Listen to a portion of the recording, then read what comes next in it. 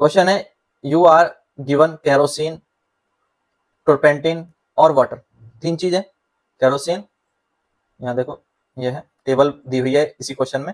ये पिछले वाली टेबल ही इस क्वेश्चन के लिए यूज़ करनी है. कैरोसिन है टर्पेंटिन ऑयल है, और बात हो रही है वाटर की.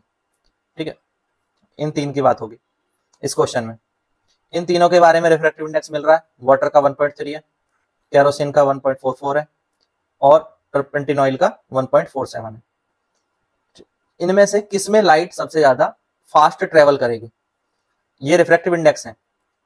ये क्या है? रिफ्रेक्टिव इंडेक्स है। अब जिसका रिफ्रेक्टिव इंडेक्स अब रिफ्रेक्टिव इंडेक्स के लिए एक फॉर्मूला था। रिफ्रेक्टिव इंडेक्स क्या होता है? Speed of light in vacuum divided by speed of light in medium यानी मैं कह सकता हूँ कि refractive index is inversely proportional to speed of light in a medium, refractive index किसी मीडियम का, उसके, उसमें जो स्पीड ऑफ़ लाइट है, उसके इनवर्सली प्रोपोर्शनल है। यानी लो रिफ्लेक्टिव रिफ्लेक्टिव इंडेक्स अगर होगा तो वहाँ पर high speed of light in medium होगी। ये बात क्लियर है? जहाँ लो रिफ्लेक्टिव इंडेक्स होगा, वहाँ हाई स्पीड ऑफ़ लाइट उस मीडियम में होगी इन दैट मीडियम अगर ये चीज़ समझ गए तो अब क्वेश्चन के आंसर पे आते हैं। ठीक है? स्पीड ऑफ़ लाइट वैक्यूम में कितनी होती है वो सबको पता ही है। अब यहाँ क्वेश्चन के आंसर पे आते हैं समझो कि ये हमारा फॉर्मूला है। रिफ्रेक्टिव इंडेक्स जो होता है, वो speed of light in vacuum divide by speed of light in medium ये होता है। और रिफ्रेक्टिव इंडेक्स तीनों के दिए हुए हैं। वाटर का 1.33 है। ये वाटर का हो गया। टर्पेंटिन ऑयल का। टर्पेंटिन ऑयल का लिख लेते हैं 1.47 दिया था। और कैरोसिन ऑयल का भी दिया था। तो कैरोसिन ऑयल का 1.44 इन्हें घटते या बढ़ते क्रम में अगर मैं लगाऊँ तो सबसे कम किसका है? वो है वाटर का। उससे ज़्यादा किसका है? वो है कैरोसिन ऑयल का। और सबसे ज़्यादा इनमें रिफ्लेक्टिव इंडेक्स किसका है? वो है टर्पेंटेन ऑयल का। तो जिसका सबसे ज़्यादा रिफ्लेक्टिव इंडेक्स है। स्पीड ऑफ़ लाइट उसी में सबसे कम होगी। इसमें सबसे कम होगी। इसके बाद speed of light kerosene oil में होगी। और सबसे ज़्यादा इन तीनों में जो है स्पीड ऑफ़ लाइट वाटर में होगी। ये बात क्लियर है?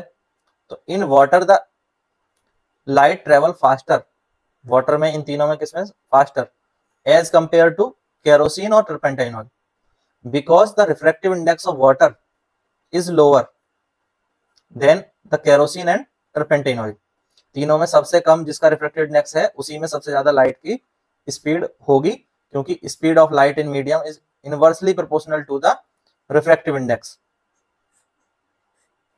The speed of light is inversely proportional to the refractive index. Clear है? बहुत अच्छे से समझ में आ गया? आ गया तो बता दो हाँ समझ में आ गया? क्लियर हो गया? कहीं कोई डाउट ठीक है नेक्स्ट क्वेश्चन देखें।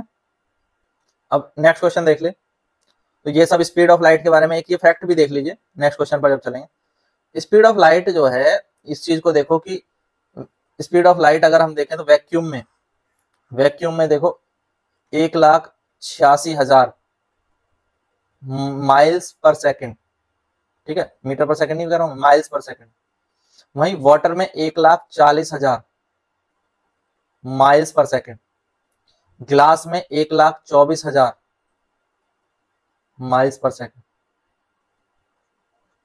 और डायमंड के अंदर घटके रह जाती है सतहत्तर हज़ार पाँच सौ माइल्स पर सेकंड तक।